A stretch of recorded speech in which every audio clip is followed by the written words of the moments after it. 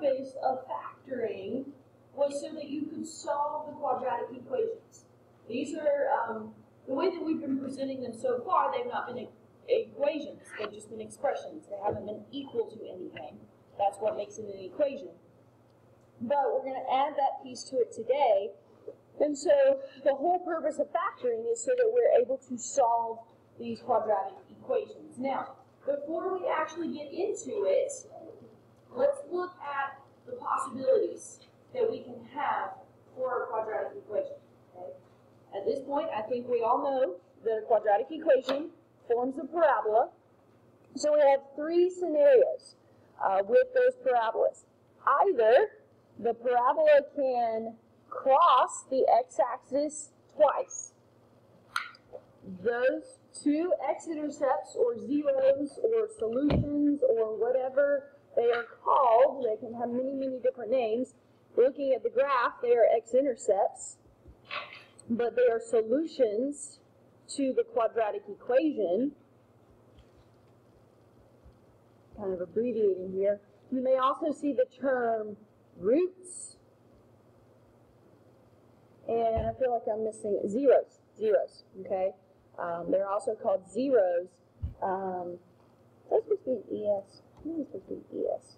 That word always messes with zeros. That looks weird too. Anyways, um, they're also called zeros, and that is the option that you select on your calculator if you can't factor the expression. But this is an example of what we call two real solutions. Two real solutions. Now, there are several different ways that you can come about with that conclusion that you have two real solutions, uh, but the easiest way is to graph it and look. If it crosses the x-axis twice, you have two real solutions. Now, we also have the possibility that our parabola just touches the x-axis. It only touches it right here. That is one real solution. And we call that a repeated root.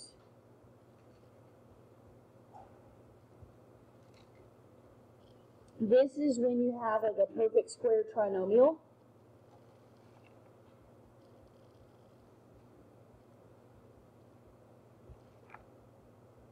Remember how those factored? Those were the ones where we got something like x plus 4 squared. So that answer of negative 4 is repeated. Same answer, but we did it twice. This is what it looks like on the graph. And then the third possibility, well, I shall write that down real quick, sorry. Okay, two real solutions, one real solution. And then the third possibility is that we have no real solutions. It is possible that these parabolas may not cross the x-axis at all. We could have we could have a parabola that looks like this. It never touches the x-axis. We could have one down here. It crosses the y-axis, but it does not cross the x-axis. So this is the case where we have no real solutions.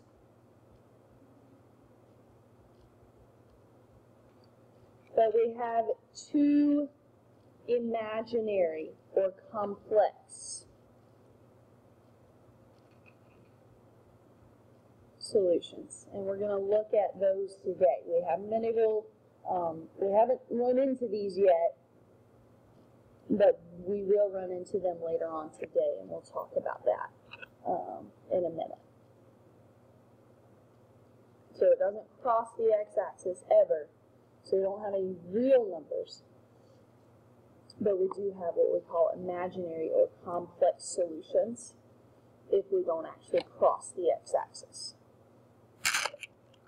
Complex solutions always come in pairs.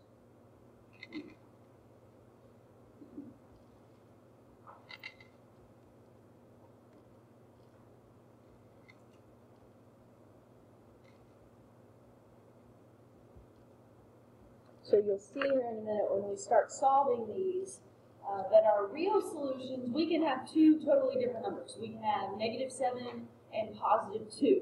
There's not really any connection between those two numbers. Uh, but when we do have scenarios with imaginary or complex solutions, they're always in pairs. So they'll look exactly the same, they just differ by a sign. One will have a plus, one will have a minus. Okay, so we'll, we'll get to that here in a minute. I just wanted to go ahead and front you with that. Okay? Any questions about the different types of solutions that we can get for these quadratic equations?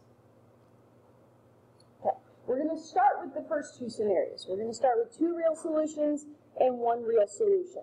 Uh, now, I already passed out, does everybody have a worksheet solving quadratic equations?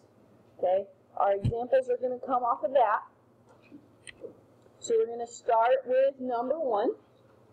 Now, our first, oh, have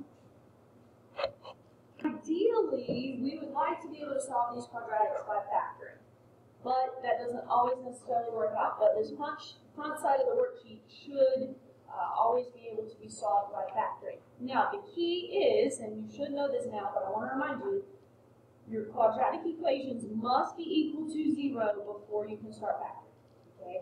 Never start factoring these things unless they're equal to zero. And sometimes you have to do a little bit of work to make them equal zero. Now this first one, we don't have to do any work. It's already set up. It is equal to zero. So that means that we can jump right into factoring. This is a simple case of factoring. Uh, our coefficient, our leading coefficient is 1. So that doesn't cause us any problems. k times k is the only thing that's going to give us k squared. Uh, 49. 7 times 7 is 49. And 7 plus 7 is 14. For our signs, our last sign is positive, so that means we have the same signs. The first one is negative, so both of those are negative. So notice we ended up with the exact same factors. This is a perfect square trinomial. Okay, this is an example of a perfect square trinomial. So in order for k minus 7 times k minus 7 to be equal to 0, one or both of those have to be 0. So that's why after this point, we set them equal to 0, and we solve for the variable. Now, obviously, both of these are going to give us the same answer. We add 7 to both sides to get k by itself. So we get that k is equal to 7. Um, so our solution is k equals 7. And I'm just going to put in parentheses here that it is repeated. Uh, it's a repeated root. Okay, because usually we're looking for two answers. It's a quadratic equation, it's squared, so we should have two solutions, but we only get one, and that's because it's a repeated root. Now, I'm showing you how to do these without a calculator, but you can always check yourself by graphing it and making sure that your equation either crosses or touches, in this case, it would touch the x-axis at that number. Okay, and we can see that this equation touches the x-axis at 7. It doesn't cross, it touches. And I can confirm, I can go to the table, and at x equals 7, the y value is 1. Okay? Alright. Let's look at number 2. Okay? Most of the time, they're not going to already be equal to 0. You're going to have to do a little bit of work to get sometimes more work than others uh, to make sure that it's equal to 0. So this equation is equal to 6. So we need to start by moving that 6 to join everything else. Okay, so I'm going to subtract 6 from both sides. I already have a constant on the left side, so 14 minus 6 is positive 8. Please, please, please be careful with your signs, with your numbers, when you're moving things from side to side. If it crosses that equal sign, you have to change its sign. It was positive 6, so that means it's got to be negative 6 when we move it to the other side. Now, we're still in a pretty simple case of factoring here. 4 times 2 is 8. Uh, 2 plus 4 is 6. So this is x plus 4 and x plus 2. we set each of those equal to zero, bless you, and we solve them for x. Subtract four from both sides, so we get negative four.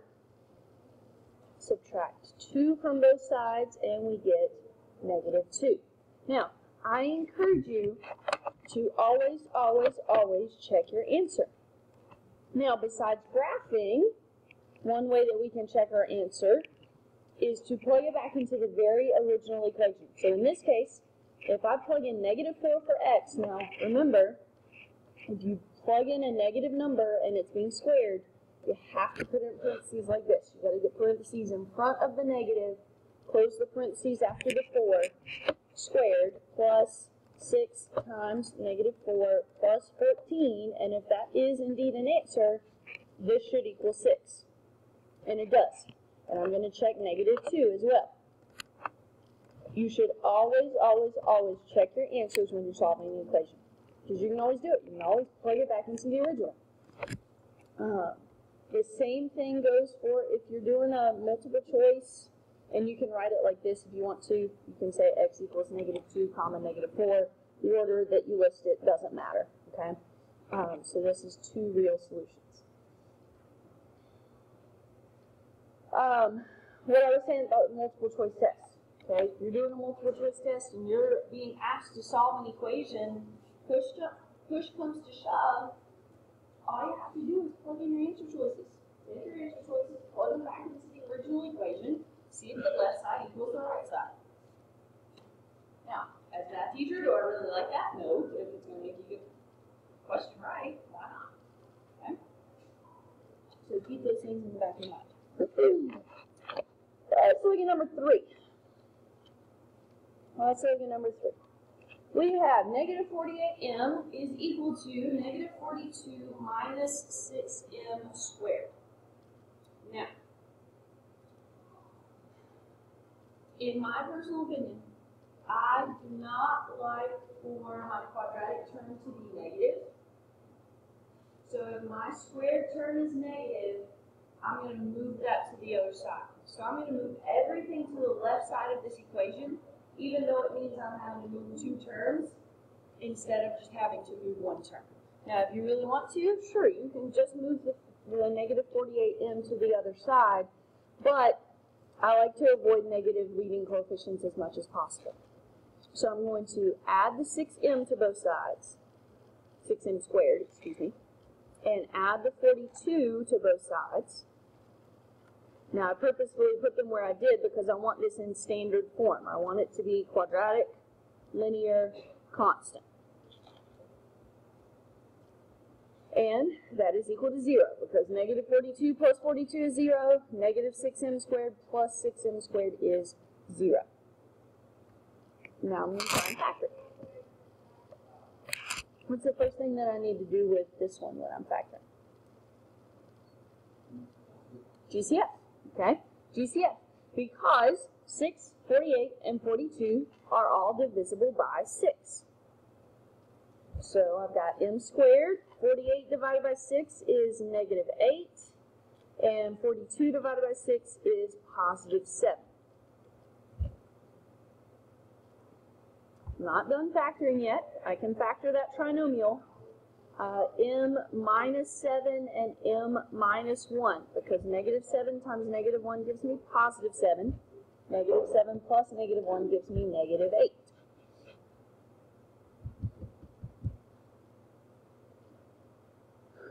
It's fully factored. So now I'm going to set all my factors equal to 0. Now, I'm, I'm setting 6 equal to 0 for a reason, and I'll explain it here in a second, but right now I'm just going to do that much. Setting all my factors equal to 0.